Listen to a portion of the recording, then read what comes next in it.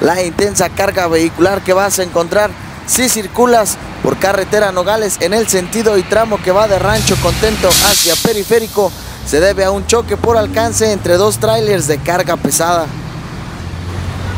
Estas pesadas unidades quedaron invadiendo el carril derecho, lo que ocasiona una kilométrica fila de automotores.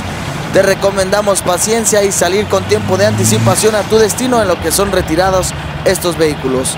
Para tráfico ZMG, elige